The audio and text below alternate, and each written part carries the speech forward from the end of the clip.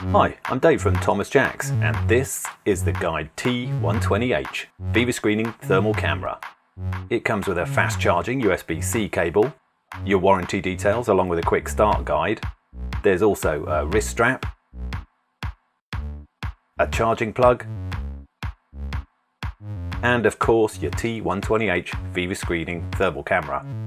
Perfect for fast non-contact temperature detection that's accurate to within a half a degree which is a lot more sensitive than many standard infrared thermometers. This unit is lightweight, ergonomically designed for easy operation, it's IP54 rated for dust and water resistance, and drop resistant to 2 meters. There's also a tripod mount, next to where the wrist strap goes for hands-free or handheld use.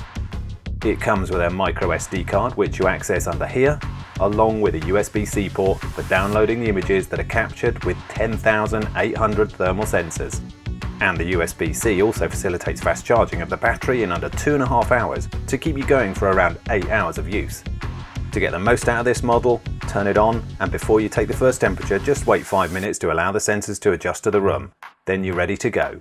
There's a handy marker for the face detection area, which is a clever way of maintaining a safer operating distance of around a metre and capturing an accurate reading.